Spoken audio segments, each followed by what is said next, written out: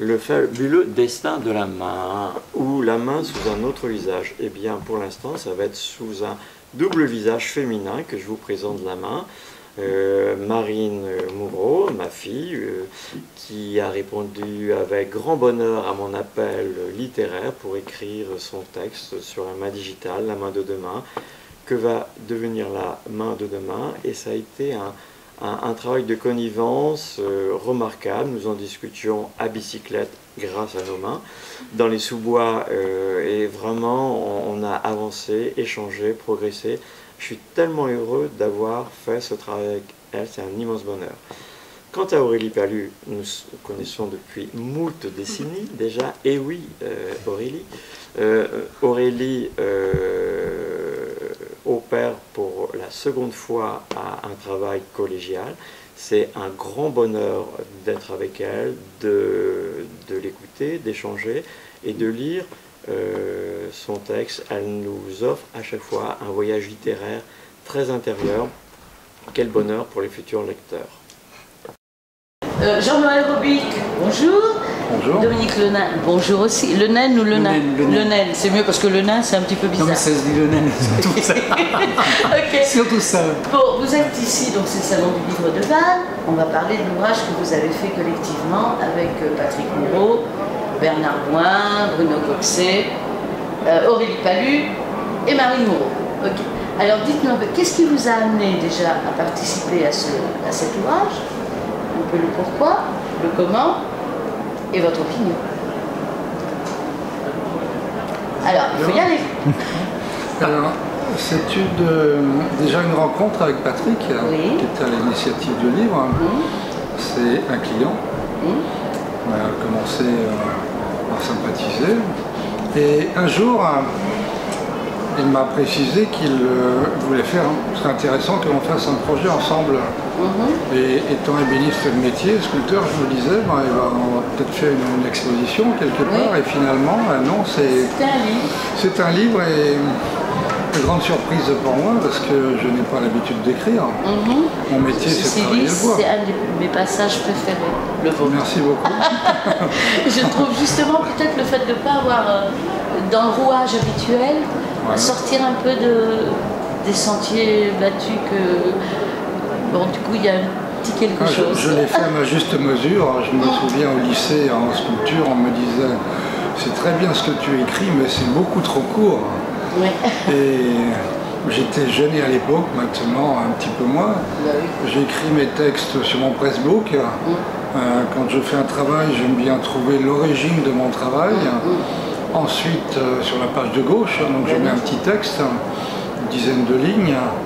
Et c'est cette écriture, peut-être sur mon pressbook, qui a, euh, qui a fait venir, intervenir euh, Patrick. Alors c'est surtout une belle rencontre. C'est une grande découverte également pour moi. Une découverte de la main parce que c'est un outil dont on se sert souvent, Oui. tous les jours, et j'ai eu ma part. Bah oui. Et parler de la main, ça n'a pas été évident. J'ai mis un certain temps euh, du fait que j'étais en retraite euh, normalement et j'avais le temps, mais des travaux à terminer et j'ai attendu le dernier moment pour écrire, donc j'ai écrit ce texte en deux semaines. Bon, bah, il a réussi. C'était une épreuve, mais c'était aussi un, un vrai bonheur. Hum. Que je me suis dit, ben, je peux peut-être faire autre chose maintenant. Et maintenant, euh, je m'aperçois que je n'ai rien dit. J'ai encore plein de choses à dire sur la main. Il ne faut pas hésiter. Et à l'heure où, où la main est digitalisée, je trouve que c'est intéressant parce que euh, actuellement les artisans, je ne veux pas dire qu'ils sont maltraités d'une certaine façon, mais presque délaissés, Peut-être un peu ignoré. méprisés, ignorés. La, la forêt de la cathédrale Notre-Dame, on en a parlé, pour revaloriser les artisans, mais j'ai bien l'impression que c'est tombé un peu dans les oubliettes. Oui. C'est peut-être un petit Mais peu comme les promesses de va apporter quelque chose. pas trop soulever le problème de la cathédrale. Parce que là, en ce moment, bon, c'est un sujet un petit peu chaud. Mais le livre, c'est un premier pas vers la découverte du- de la main et de la revaloriser, je pense aussi. Alors, le point de vue du chirurgien, qu'il faut savoir, vous êtes spécialiste de la main. Voilà. Oui. Tout d'abord, la rencontre avec Patrick Mouron, c'est vrai que c'est une rencontre, c'est par le plus grand des hasards, on s'est rencontrés il y a 2-3 ans. Oui. C'est autour de- du livre qu'on s'est rencontrés, parce qu'on adore écrire tous les deux. Visiblement, c'est un de nos points communs. Et Patrick euh, m'a sollicité pour cet ouvrage il y a très peu de temps, effectivement, autour de la main. Et puis on a un autre point commun, c'est la médecine. Oui, bah oui. Et donc euh, voilà, c'est ce qui nous a fait nous rencontrer. Médecin, main. Alors c'est vrai chirurgien, que voilà, c'est vrai euh, que la, la, la main est pour moi quelque chose d'important puisque en tant que chirurgien j'utilise la main Oui, pour opérer oui. et j'opère avec passion les mains. Donc la main se retrouve autour de la main, donc c'est quelque chose qui est... euh, Mhm.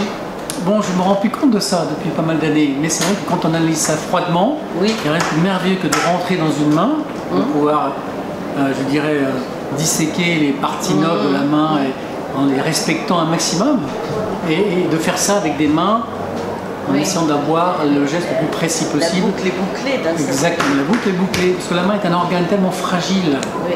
tellement fragile qui, qui vraiment est soumis à des contraintes, des, soumis à des risques d'acci- d'accidents tellement quotidiens, qu'il faut vraiment en prendre soin. Et donc, euh, la main est quelque chose de très important euh, pour un chirurgien, évidemment. Et c'est là qu'on s'aperçoit que nous, on essaye aussi, en tant que chirurgien, de, de revendiquer cet outil et de demander aux gens que l'on soigne d'en faire vraiment un bon usage et de faire très attention à ses mains. Dans votre, dans votre partie, vous évoquez le, le rejet parfois de certains de vos patients par rapport aux nouvelles mains. Je dirais que La difficulté des mains traumatiques complexes, effectivement, c'est que le challenge quand on a une main complexe, nous on est centre SOS Main à Brest, comme dans pas mal de villes universitaires, on voit de temps en temps des mains extrêmement abîmées. Et la difficulté, c'est le challenge fonction esthétique. Quand on a une main qui est explosée, par exemple, ou une main qui a été victime de, de gros traumatismes dans une usine, une Oui. machine agricole, la difficulté, c'est de refaire une main qui a une fonction et une main qui soit en même temps esthétique. Et c'est un vrai challenge. Et ça, c'est la grosse et difficulté. que le patient accepte. Et que le patient accepte. Parce qu'il y a un côté Et ça, psychologique quand exactement, parce que la main, c'est comme le visage. C'est ce que j'allais dire, c'est comme Voilà. le visage. La main, c'est comme le visage, on voit ses mains, on montre ses mains. ouais. Et une dame, une femme ou un homme qui a une main traumatisée aura tendance à la cacher, À la mettre dans la poche, ou vouloir une prothèse en sachant que les prothèses, c'est pas encore tout à fait ça. Vous voyez que la main, on a un gros challenge quand on reçoit des, des mains traumatiques complexes, c'est de pouvoir redonner la fonction esthétique. Je dis ça parce que c'est un challenge, on n'y arrive pas toujours. La nature est trop belle, la main, c'est. Je sais pas qui nous a donné la main. Si on croit en Dieu, c'est sans doute Dieu, la nature, mais c'est un outil absolument merveilleux et il faut en prendre soin, c'est évident. Alors, euh, pourquoi vous avez fait ce. À part bon, le fait d'écrire effectivement avec euh, Patrick Moreau et tout, de vous sur certaines choses, mais est-ce qu'il n'y a pas un petit peu un message aussi euh, en derrière pour dire aux gens vous avez un accident de la main, c'est au pire, c'est pas très grave, on peut essayer de faire quelque chose, quoi. Oui, c'est ça, mais en même temps, j'aurais tendance à dire qu'il faut. c'est quand même très technique, votre partie. C'était pas toujours, enfin peut-être oui. Oui, enfin, moi, moi je l'ai ressenti un petit Voilà. peu comme ça, avec effectivement me dire Ah, oui, mais ils doivent prendre parfois certaines décisions. euh, L'idée, c'est. Peut-on la sauver, Ouais. pas la sauver euh, Ouais. C'est difficile, quoi. C'est difficile. Enfin, je dirais que l'idée, ce qu'il faut retenir, c'est la prévention. Ouais. Tout est dans la prévention quelque part. Quand je dis qu'il faut prendre bien soin de ses mains, il vaut mieux éviter d'avoir un gros traumatisme que voilà. Mais c'est un raccourci par rapport à tout ce que j'ai pu dire, je pense. hein. Et une chose dans laquelle aussi on est extrêmement attaché, c'est les liens qui existent entre la main et le cerveau et la main et la pensée. hein. Et c'est pas d'aujourd'hui, hein. ça date d'Aristote, oui, hein. il y a eu des débats philosophiques. Bien sûr. Euh, L'homme a des mains parce qu'il est intelligent, et puis on avait le discours était Oui. inverse. Oui, il est intelligent l'homme est parce qu'il a intelligent des parce mains. qu'il a des mains. Et on est encore toujours dans ce débat-là. Ça montre bien, je- même avec, euh, même avec Léonard de Vinci. hein. Mhm. Il a une de ses planches où on voit des visages et puis des mains. C'est la même planche. Hein, Il y a des grottes dans, le, dans les Pyrénées, pareil. Oui. Il n'y a que des mains. que des mains. Bernard Boin, bonjour et merci.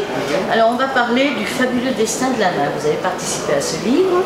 Euh, c'est un livre convivial. Euh, combien huit auteurs Et vous, bien sûr, c'est logique, la partie main peinture. Peinture. Alors dites-nous un petit peu plus quand même, dites-nous un petit peu plus. Bah, euh. au début, j'étais très inquiet parce que je ne me sens pas véritablement euh, un écrivain. Mais en, en revanche, en tant que dans mon expérience de peintre, évidemment, j'avais quelques idées euh, au bout de 30 ans de travail Oui. sur, euh, sur le rapport pouvait avoir la main avec, avec l'esprit et, et la création d'œuvres d'art. Alors ce que je dirais assez rapidement, c'est qu'au départ, euh, une peinture dans une œuvre d'art, pour moi ça naît d'une émotion. Après, je la construis euh, en la dessinant, donc la main intervient. elle, elle, fait la structure du tableau. Et puis, et puis après, je la peins. Et, ce que j'ai remarqué quand même dans l'histoire de, mon travail, c'est que la main pouvait m'amener très loin du concept original.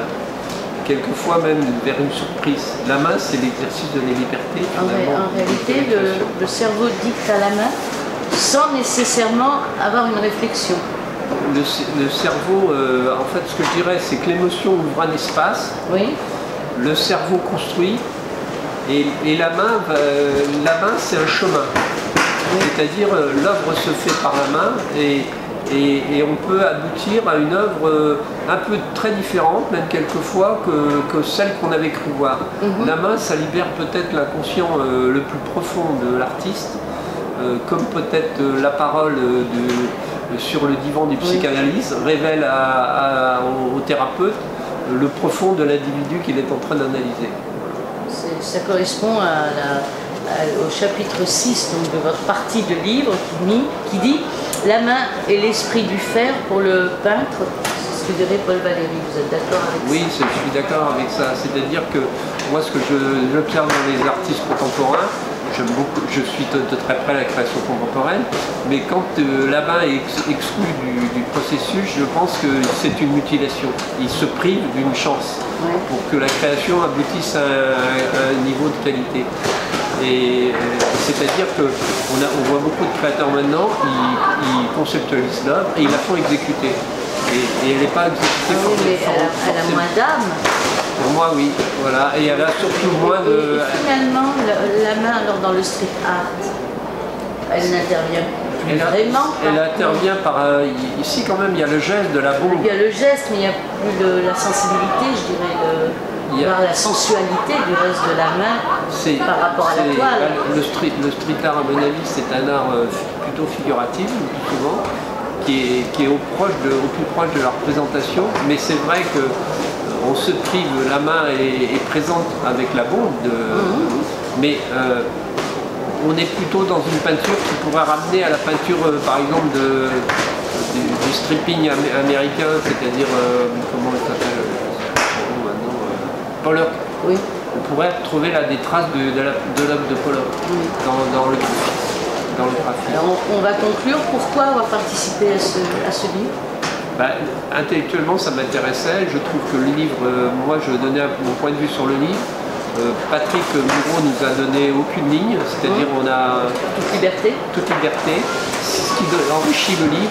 Euh, chacun a mis son expérience personnelle, sa vision de, propre, de sa propre spécialité.